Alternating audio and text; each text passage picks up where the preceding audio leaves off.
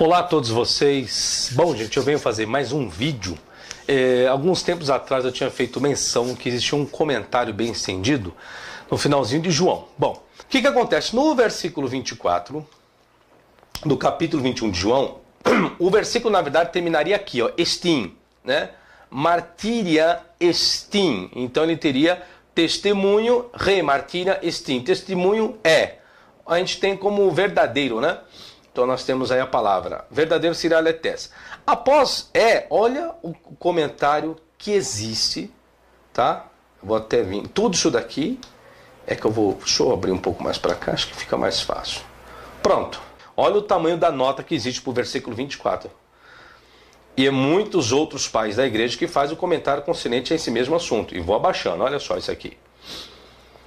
Você viu? Olha, o comentário que existe em grego aqui, ó. Tudo isso daqui, o comentário em grego, ó. Olha isso aqui.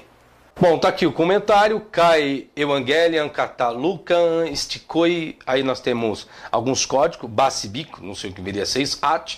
Dixiloi Triacosioi Kefalaia. Uh, Titloi Ieit Remata.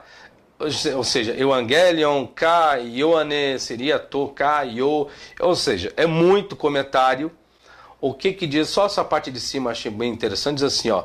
Ka Evangelion Katalukan que, que significa cai e é, evangelho? Evangelho está segundo Lucas. Ou seja, o capítulo 21, versículo 24, depois do finalzinho que está na sua Bíblia em português, diz que esse evangelho de João é o evangelho segundo Lucas. Mas vamos entender esse raciocínio. O que, que ele está dizendo?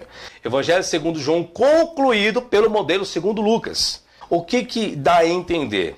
Volto que o autor primário, conjectura minha, tá? Conjectura minha agora, tá? Foi escrito em hebraico ou aramaico, para o povo qual ele destinou. Lucas faz uso e escreve em grego.